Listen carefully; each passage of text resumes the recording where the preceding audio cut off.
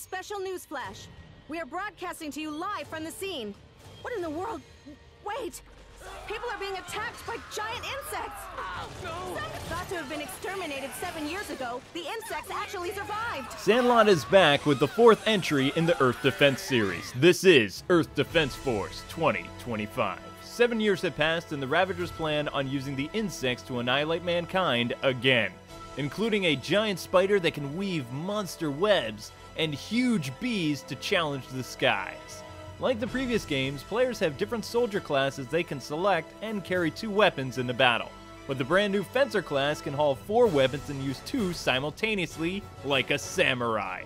He can also wield sledgehammers for making things up close and personal with the enemy. Another new class is Air Raider, who sounds like a G.I. Joe. His abilities are calling in airstrikes, healing troops, and summoning vehicles to even the playing field. Though Air Raider is best used as a support-only character, the other two classes are pretty much the trooper and jetpack soldiers from the last game. The rangers and wing divers are best for beginners and can carry a wide variety of weaponry, like the sniper rifle and big bazookas that go boom. Now the whole point of the EDF is recruiting troops, killing bugs, and picking up leftover items. Facing the insects alone is suicide though, so make sure you draft a huge army along the way.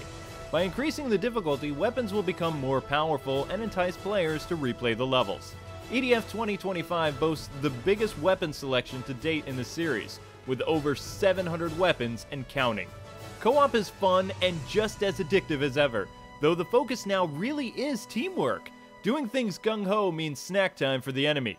Work together and stay off the menu, folks. Four players can work together online, but honestly, I didn't mess around with that feature all that much. It was loco play for this guy. As for the music and sound, it's pretty good in this game. The composition rocks and gets your blood pumping, while the sound effects put you right into a B horror flick. The cheesy dialogue is hilarious too, though seriously, these guys could use some singing lessons. To save our Mother Earth from any alien attack. From vicious giant insects who have once again come back. We'll unleash all our forces, we won't cut them any slack.